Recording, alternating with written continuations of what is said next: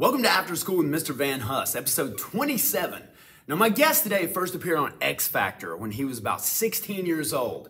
Since then, he's gone on to be one of the hottest touring acts out there. He's a great singer and songwriter. It's my pleasure to welcome Mr. Skyelor Anderson. So, welcome to After School with Mr. Van Huss. Today, I'm here with Skyelor Anderson. Skyelor, how you doing this morning? I'm doing great, man. Thank you for having me on. I appreciate it. Oh, man, I'm so, so happy to have you on. I know I was uh, hosting the CMA Spotlight stage a couple of years ago when uh, I was lucky enough for for you to play that stage, and uh, I got to you know witness your act from uh, from basically the front row, standing right there by the side of the stage, and uh, you're an amazing performer, and I became a fan very very quickly. Um, and know what a, a, dynamic songwriter and singer and everything that you are. So I was really excited that you would take time to uh, to talk to me and talk to my students for a, a couple of minutes today. Oh, thank you, man. For anybody who might not already be familiar with who Skyelor Anderson is, I'm going to let you introduce yourself and just tell us what it is that you do. Well, yeah, I'm Skyelor Anderson. I'm a singer songwriter, artist, travel across the world and play music and play on Broadway a little bit. And um, yeah, that's that's what I do for a living. That's that's my job. now, you first appeared on X Factor when you were like 16 years old, right? Yeah, yeah, that uh, that's crazy. I was playing yesterday um, at Chiefs, um, and yeah, I, I, was telling that story, and a lot of people would start looking me up. Yeah, I was on the X Factor when I was 16 when it first came to the U.S. Um, I was on that show, and um, it was fun. I made it to the top eight boys out of like 254,000 people. That was a good time. Yeah. That's incredible. I yeah. uh, I was watching. I went back and watched your like first audition. And oh, I wish they would. Like, I wish they would delete those. Oh man, no, it was good. Like being a teacher who is around teenagers every single day. Like for anybody that hasn't seen it, your music cut off. Like just a couple of lines into the song, and man, you just kept going and you just nailed it. And I know the judges were impressed with that. And like I said, being somebody who's around like students every day and teenagers, that's that's showing a lot of maturity at 16 years old to be able to like, you know, do something like that and just keep on going and just not worry. a lot of people thought a lot of people think that was like staged. And uh, every every time I like a lot of people ask me, like, was that stage they meant to do that? I was like, no, that was not stage That really happened home by like out of everybody that went to that audition that day, it only happened to me. And like literally like that was like the format of my mind was like, no, me and my mom, like, we took a bus to Chicago and and I was like, I'm not stopping. This is it. This, this is all I got right now. So that's that really was like the mentality of like, I might as well keep going. Like, there's no way to like stop now. right. There's a very important lesson to be learned there because I think you know it, it showed the uh, the maturity and professionalism you even had at 16 years old to be able to just you know take something that might have knocked some people down and you made something special out of it. And when you got Paula Abdul sitting out there, you know, talking about how good you are with it, that's that's a good yeah. thing. Very blessed for sure. So, what influenced you to do what you do? What made you want to be a, a singer, songwriter, and entertainer?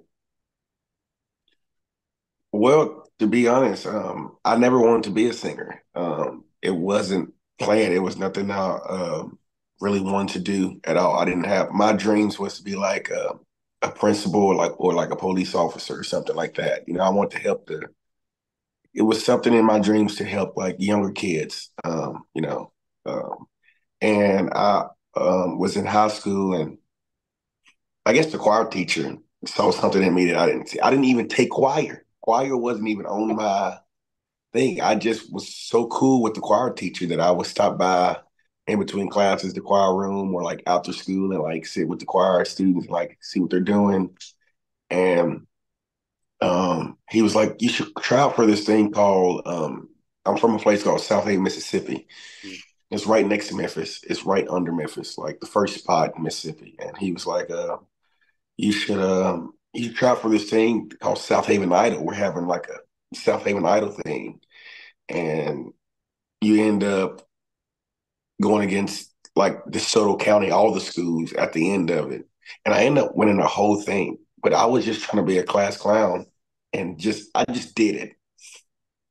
And um, I end up winning it all. And about two weeks later, I'm like six thirty in the morning. I'm brushing my teeth, and my mom. I come out. I come out the restaurant. My mom was watching news, and she's like, "X Factor's coming to town. You should audition." And I'm like, "Yeah, whatever, okay." And ended up signing up for it, and um, ended up like taking it far. So when I got off the X Factor, after everything happened with the X Factor, I literally like came home, and I I didn't pick up a guitar really. I didn't um do anything. I just wanted to make sure it was it was it serious. Like, is this like what I wanted to do? And um, ended up I had my um, I was laying in bed. I'll never forget this. I was laying in bed at um, and my buddy dad called me, and they were at a place called Southaven Pizza that was up the road. And he was like, "Hey, the owner son is here. He's going to benefit for St. Jude." He's like, "I know you don't do this."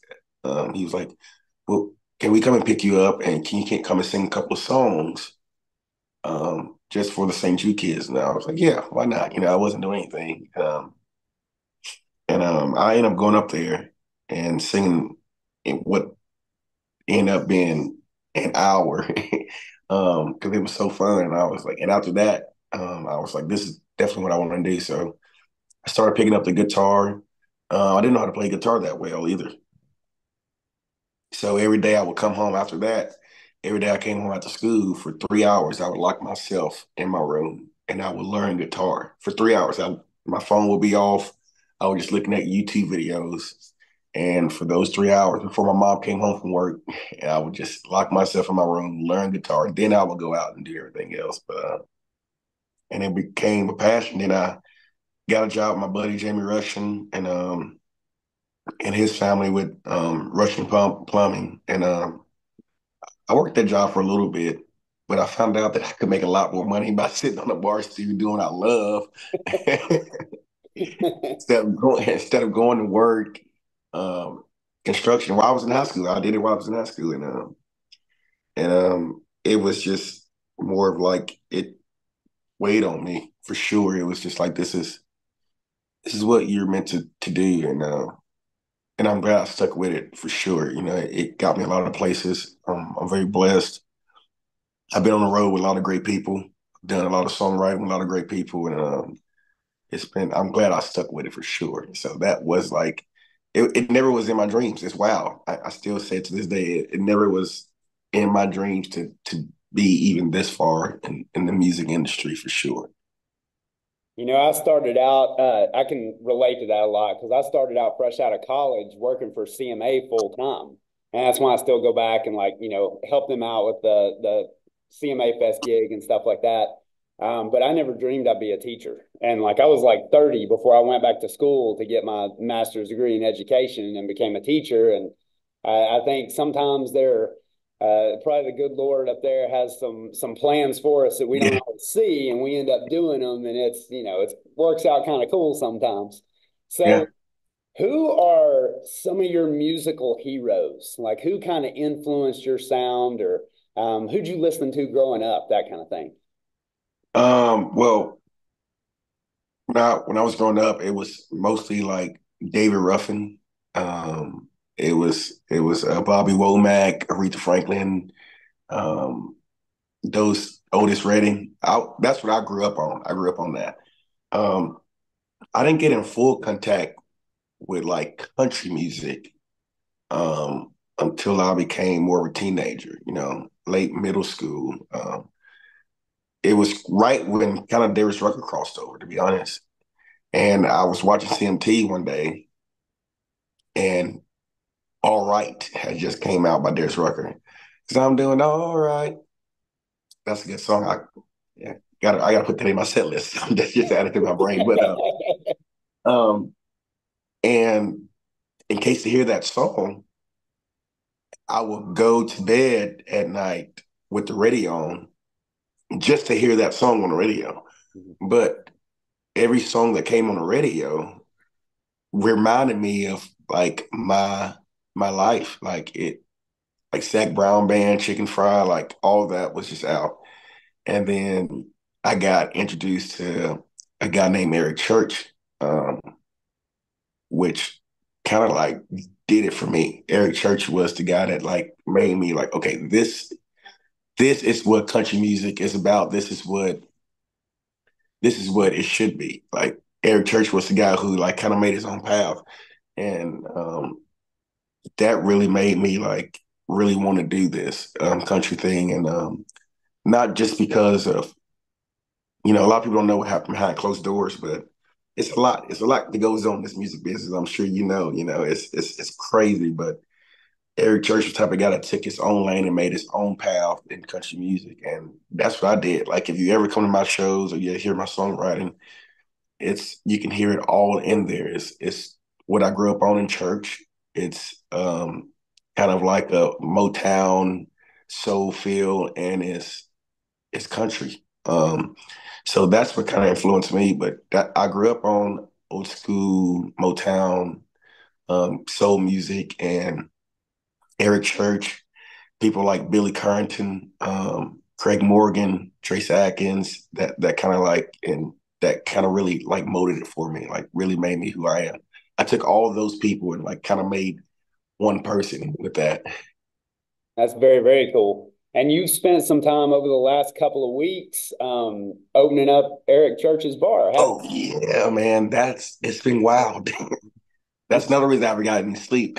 yeah, I'm sure. So that's that's a cool story. So um, I knew Eric Church Bar was coming to town. Um, they had just just started on the building. Um, this was months ago. I mean, it was about seven months ago. Um, I was doing Craig Campbell's as a, a, a coffee shop out in Eaglesville, and he wanted me to come and do his one year anniversary. Just sing a few songs. He was having all type of artists there, and me and my wife end up going, and I end up doing a set there. And um, the lady who was Heather, thank God for her, and her mom was there. didn't didn't know this at all. I, am just there to support Craig Campbell. Um, and while I'm singing, the lady's mom come up to um, my wife while I'm singing. And I didn't know this until afterwards. And she's like, My my daughter is opening Eric Church's bar and we would love for him to play. And my wife would be like, wait till you get off stage. She knows I'm Eric Church fan. She's like, wait till you get off stage. He's gonna be like crazy. Um, so when I got off stage and introduced me to um, Heather's mom, and then Heather came up and was like, "Yes, come and meet us." so I ended up going to meet them at the warehouse where they were getting everything together. And um, I'm the first band they hired. I'm the first band they hired, and they gave me a Chiefs hat. And um, I was seeing all the things, the models that they were going to put in the bar and all that. And John, John O'Neill, great guy who books Eric Church's bar. Um, he's like, "Yeah, welcome to the family." He was showing me all these things and how the bar is going to look. And I was like, oh man, this is what we've been needing on Broadway. And um, yeah, they I didn't know I was supposed to play the opening date. Mm-hmm. I was supposed to play, I thought I was going to be the next day. But he was like, oh, you got to play Thursday night, like when we open. Um, and I was like, oh, okay, all right, all right. Well, that's that's fine. And it was the time. And I've been I've been there like that's my second home now. I've been there since they opened. Like, wow, it's been a while. It's been a lot of fun. Um, meeting a lot of great people, um, and it's something new. It's more. Um, it's not like your Broadway. You know, you get your boot scoot and boogie, and you know the same old cliche songs.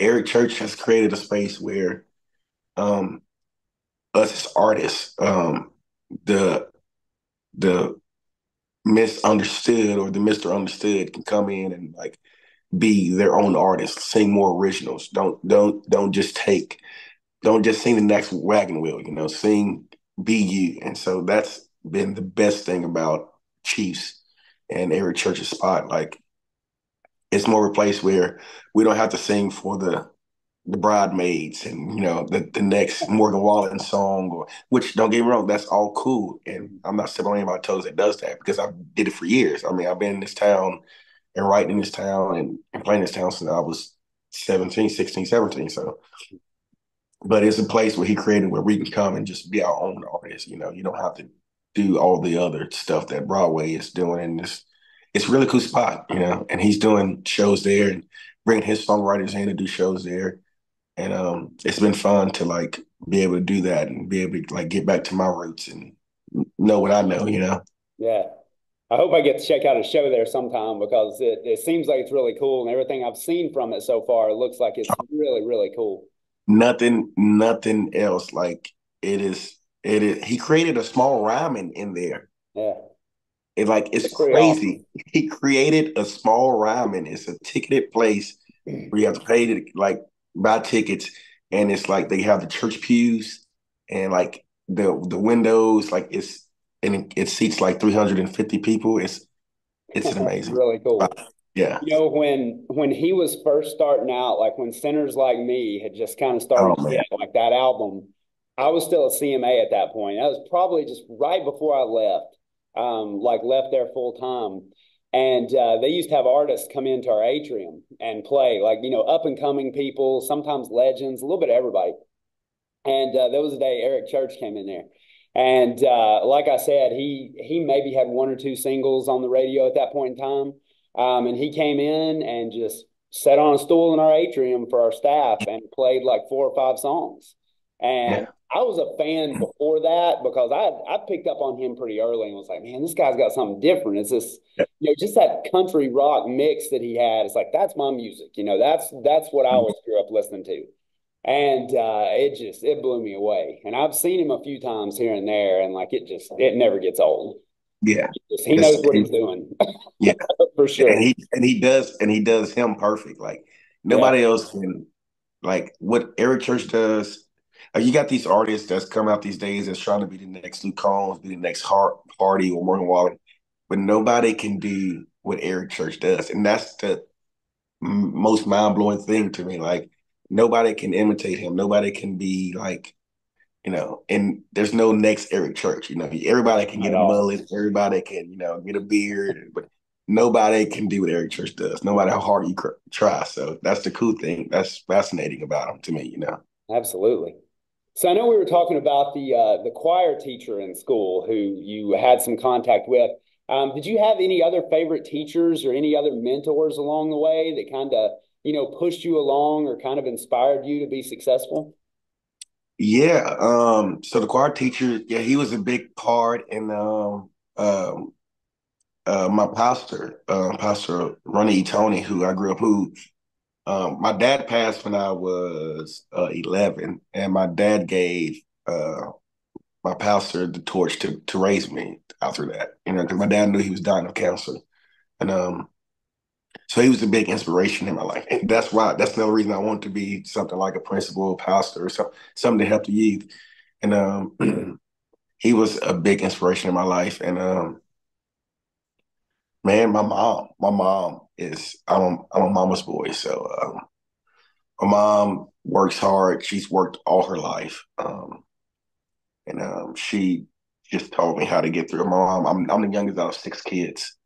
So I was the last one, you know, with my mom after everybody moved out. So um, that was to me a lot of, you know, inspiration. Just seeing how hard she worked and how hard she kept going, even after even after losing my dad and, and my oldest brother, and she just kept going. Um, she's a fighter, and um, so that's where I get the, you know, the kind of like to get up to go from. Like no matter how hard you think you got it, there's somebody out there that got it worse than you. Yeah. And um, and there's days that I don't I don't want to get up. You know, there's days that I'm not getting in the house until five, or six in the morning. You know, um, but you know, it's the things that like you got to get up. You got to be a part of your family. You got to go out and hang out with your kid, take them to the water, hang out with your daughter. You know, spend some time with her, and and do it all again the next day. And um, my thing of just keep going is is, is big for me. So uh, my mom was a big inspiration. She helped me when I was doing this, started off with this music thing. She's the one that like really pushed me like to keep going and keep going and keep going. And um, she's very proud now that she did that. she lets me know for sure. Um, um, so and that's that's just been a big part, you know. And I, I've learned from a lot of people in life, like even my siblings. You know, I just learned and and even like when I came to town, like I would always I don't do it anymore because I'm getting a little too old for it, but I would always go to Broadway like two and a half, three hours earlier before my show started. Um, and I would just walk around each and every bar and just look at artists and look at musicians, see what they're doing. And it taught me how to like what to do and what not to do. How can I create my own show? So if you ever like see my full band show, it's totally different. It's it's not anything. We we don't do the songs the same as the radio. Like that's that's not we like we add our own twist to it. And uh, my band is my band. My band been with me for years, so they know everything I'm going to do. They know the next step, the next octave, the next key, and it's it's more of a and it's it's I hate to say this, but it's so real. It's more of a um, kind of like a, a, a country church experience. You know, it's it's fun. Uh, we literally have fun. We don't sit there and just you know, you go on Broadway now and or you see these musicians now who just tired out and just sit there and play with their guitar on stage with their band. It's like no emotion, no contact. You know, you can't like you can't reach the people in the crowd. And, you know, everybody's having fun on Broadway, of course. Everybody's drinking, having a good time. But um, my thing is like my show, I kind of want to be an experience. Like I want you to leave there like, oh my God, you know. So I'm usually on top of bars. I'm usually on, I'm, I'm usually the wild one. Um, um, and then my acoustic shows is that's my time to rest. That's my time to sit on the bar stool and tell you stories and and um, sing you songs that I haven't played in years, songs that I wrote when I was in high school, middle school. So my my seven month year old is just screaming out there. I'm sorry. Um, uh, yeah, I can't even hear it. You're good. but um, yeah, it's been like yeah, that's like the inspiration. I get I get a lot of inspiration from a lot of people. You know, it's just it like I always say this, and I don't mean to exaggerate, but I I think God had blessed me with like a third eye, like to just kind of like see through certain things and like know what to do and what not to do. Is I guess I guess you can call it common sense. You know. Yeah. Man, I tell you, we, uh, I think you and I probably have more in common than I even realized. I lost my dad when I was 20, and that was the hardest thing I ever went through. So I can't imagine going through at 11 um, because that was almost a decade earlier than me. So um, yeah. that, that, that's hard. I totally yeah. get that. Um, I know we, we kind of touched on this a little bit right here, but uh, you're going to have the year of some high school students here. Okay. What is one life lesson that you think you've learned along the way that you would pass on to them? Let the next car pass.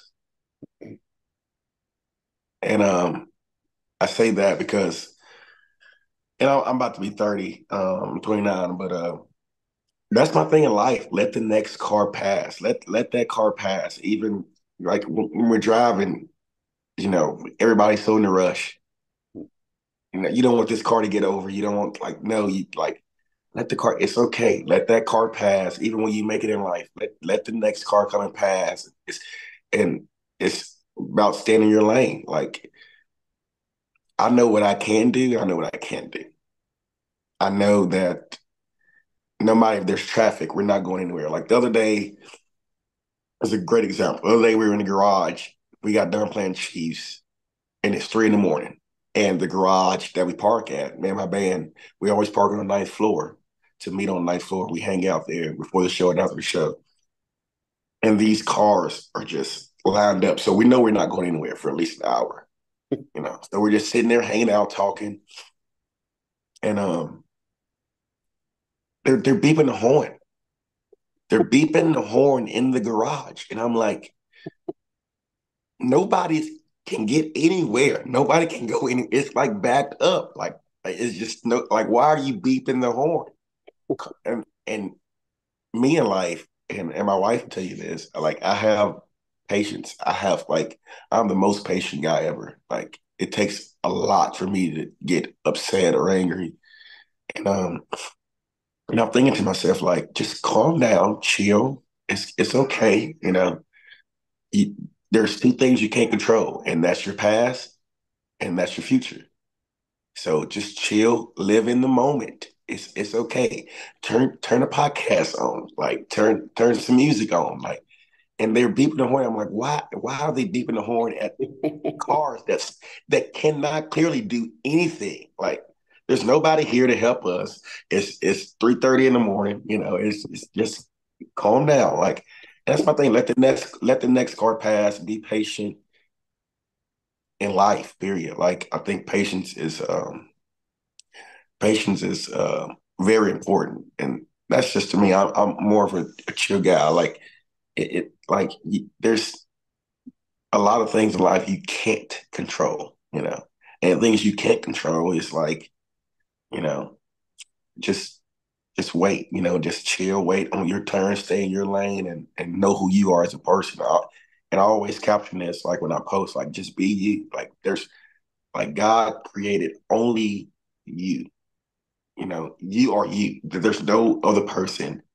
Like I was just talking about Eric Church. Like there's no other person that can imitate. You know, you are you. So um, that's important to me, and I think that should be important to a lot of people. That's like coming up, and I've done it since I was on the X Factor. I've always just tried to stay in my lane. I didn't. I never tried to be like anybody else. I never tried to, you know, sing or play like anybody else. I never tried to dress like anybody else. I'm like, just just be you. And if you be you, that's there's only one you. And like that's incredible. That's the incredible thing about God and and this world. And um, and if you let the next car over, you know that that's showing love. And if we can show love and and you know that's a great thing. If you can show love, maybe it can brush off on somebody else, and that next person can show love to the next person they see, and um, and that's very important to me.